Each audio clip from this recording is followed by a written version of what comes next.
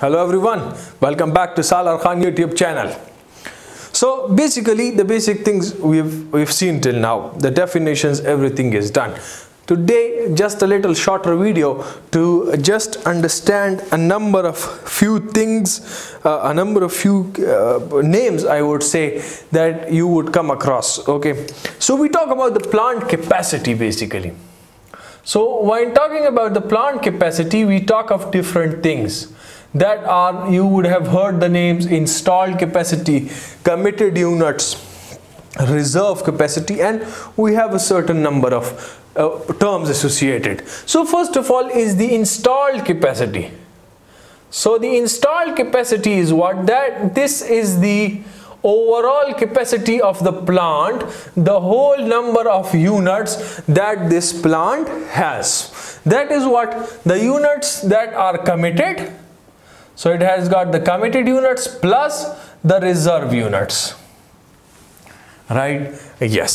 So committed means what? Committed are those which are taking the load which are supplying energy to the load at a time. Whereas reserve are those which are there to ready to operate but they are not taking the load. There is no load demand for them right? The load is being fulfilled by the committed units whatever the number of units may be. For instance you ask an IPP I told you what is an IPP independent power producer. You ask him for what is your installed capacity. So they will tell you that this is my installed capacity. I have 10 units. They will not say that I have 8 number of units that are operational and 2 are as a standby units. So uh, no. The thing is installed capacity is the overall capacity that is present. So in, in, in terms of this reserve you could say standby okay. So let's let's let's have another word. So one one is uh, a spinning reserve. Spinning reserve is a word used. Let's say i write what? Spinning reserve. So what is the definition of spinning reserve? That this would be uh, reserve capacity of the plant that is connected to the grid and it is ready to take load. Right Yes. This is the units or the capacity that is connected to grid and ready to take load. which means what this means that you have that the, this is the spinning reserve is that capacity which is mechanically connected to the turbine it is mechanically connected to the turbine but it is not electrically connected. Right? Yes I have written over here. Mechanically rotated by the turbine. Mechanically rotating by the turbine but not electrically connected fine. Yes. Which means that it is in the operational state but the load has not been put onto it. Fine. Yes. Similarly you have a cold reserve. You have a cold reserve.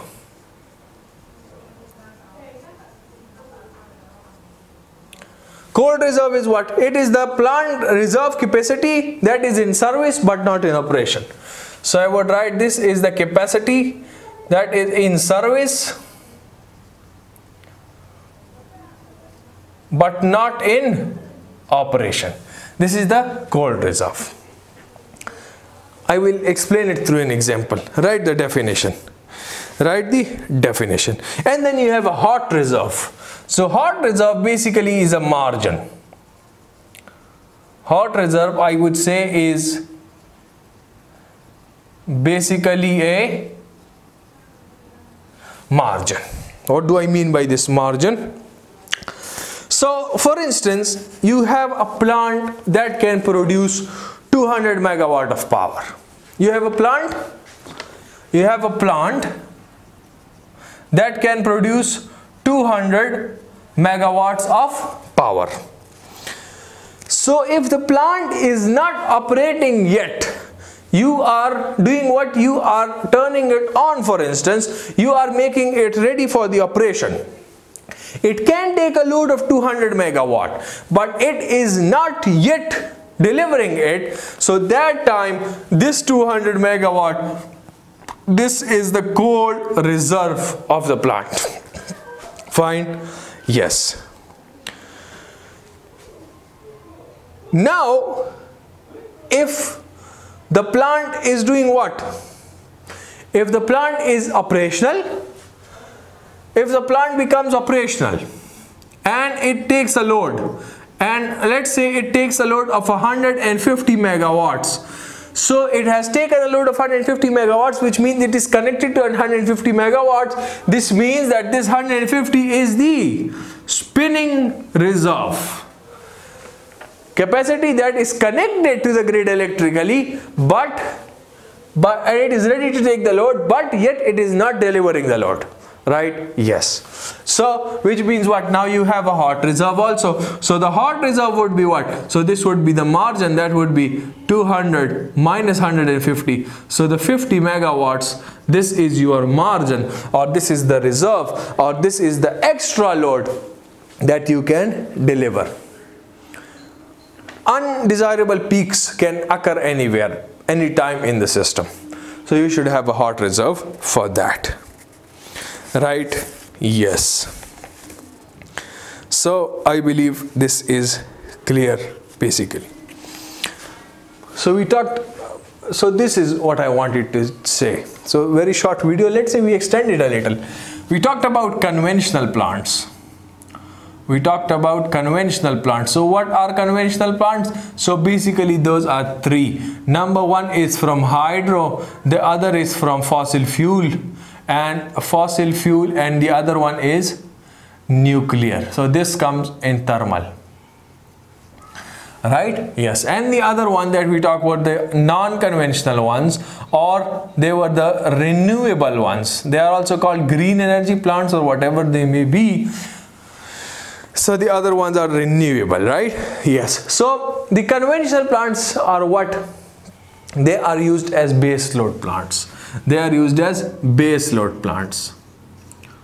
And why are they used? So because the base load is occurring for a larger period of time. You have this you, the, the, the, the basically the, uh, the thing that is making the source of energy should be available. So hydro when we talk of the conventional we talk of a large mass storage. We talk of a large mass storage. Similarly fossil fuel similarly nuclear. So we, we say that these are uh, these are there to operate the base loads right? Yes. Similarly and these one the non-renewable ones they are basically operated as peak load plants. Peak load plants such as the diesel power plants etc diesel and i've told you the gas i believe also. In in the in the first uh, video i have told you about this.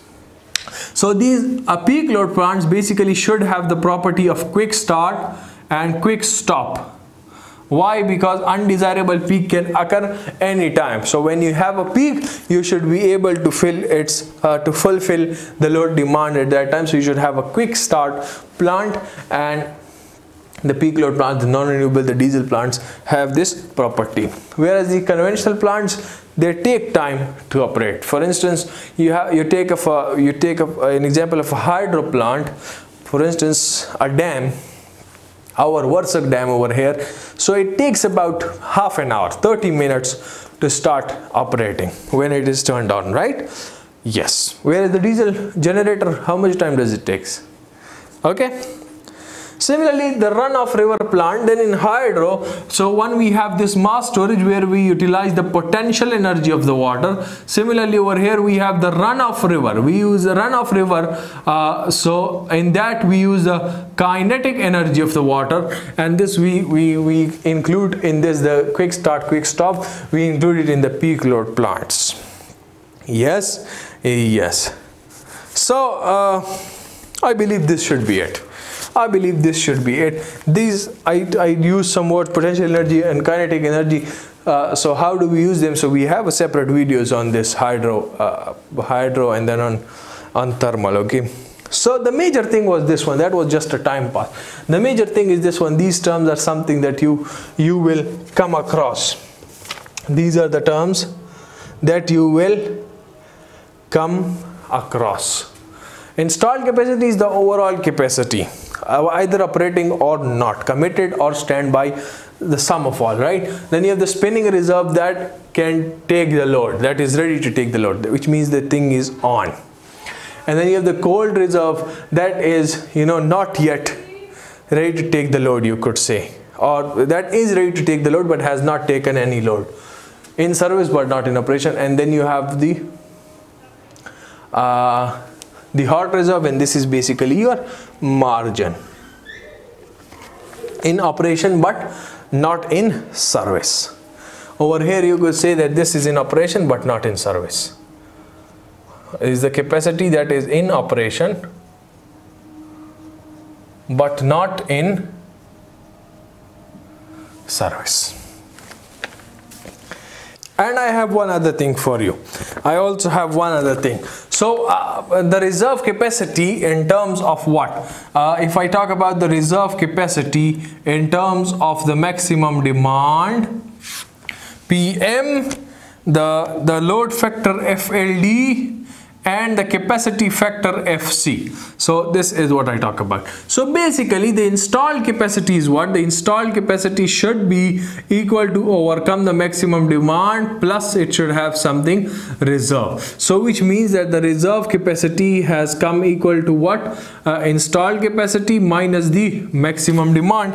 Isn't it like this? It is and uh, the installed capacity is the average load by the uh, FC P divided by FC FC is P divided by PC right? So you know this FC is the capacity factor from the definition of this. And this then you have minus the average load divided by the load factor. So the load factor definition is average load over the maximum demand so now what can I do is I can take the average load common P I have 1 over FC minus 1 over FLD yes? Yes. Now I can do what? P FLD minus FC divided by FLD FC right? Yes sir. Now what do I have? Uh, if I take FLD common if I take this FLD outside for instance so P divided by FLD into FLD minus FC divided by FC so which means my reserve capacity would come equal to what? P divided by FLD is the maximum demand. PM into load factor FLD minus capacity factor FC divided by capacity factor FC. And this is the reserve capacity in terms of maximum demand, load factor, capacity factor. So I finished this video over here. I'm a little very much tired. I have uh, made two, videos early in the morning while I was about to sleep and then what two now. So I'm very much tired. I'll see you in the next video with whatever the topic may be. Till then take care of yourselves and everyone around you. Do remember me in your prayers. Do subscribe to the channel. Goodbye